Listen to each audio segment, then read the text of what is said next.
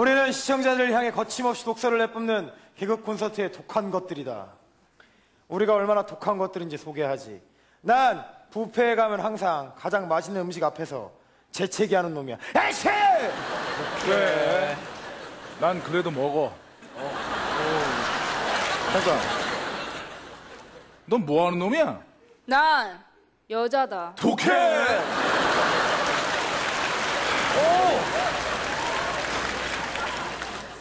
난 본격적으로 TV를 보고 있는 어린아이들의 동심을 다 깰 거야. 잘 들어. 니들 무술학원 다니면 관장님이 이런 얘기 할 거야. 우리 도장은 무술보다 싸움보다 예의를 가르치는 곳이다. 알겠나? 예. 여기서 말한 예의 인사 아니다. 학원비다. 학원비 안 내면 90도로 인사해도 안 받아줘. 독해. 너와 선생님의 최소한의 예의는 제 날짜에 학원비 내는 거야. 독해.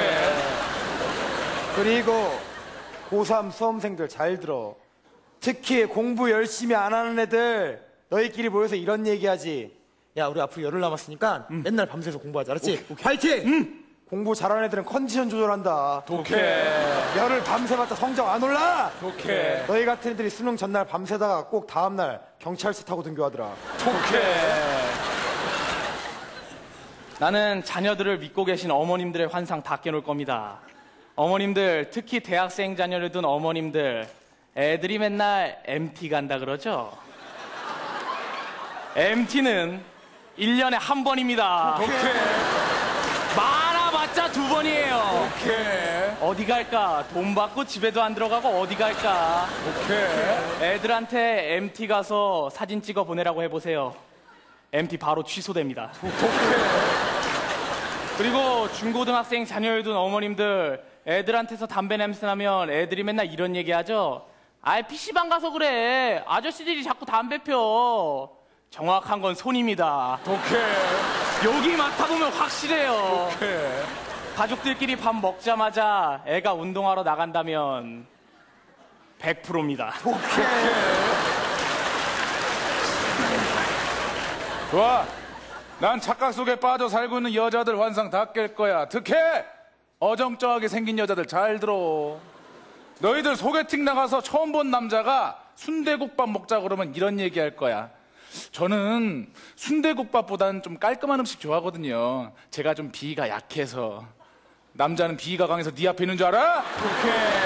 그리고 이런 얘기도 할 거야, 남자한테. 제가 볼매거든요. 볼수록 매력 있는 여자? 막 이래. 죽는다, 진짜. 난 독한 놈들 보면서 히덕거리는 남자들에 대해서 얘기해 볼 거야. 특히 어정쩡하게 생긴 남자들 잘 들어. 아까 곽한구가 순댓국 얘기했지? 그래, 했다, 왜? 왜 네 주변 여자들이 순댓국 싫어하는지 알아? 왜? 너랑 순댓국 집에 앉아 있으면 진짜 없어 보이거든. 장동건이랑 먹어봐. 순댓국이 아니라 생닭, 생간도 아주 씹어 먹어.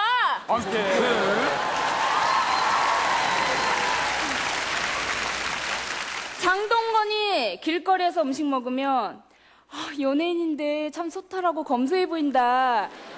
이렇게 말하지. 네가 길거리에서 음식 먹으면 아, 연예인인데 아, 너무 불쌍하다. 이렇게 말해. 같이 우리 이렇게 독한 놈들이야. 다음 주에 또 보자.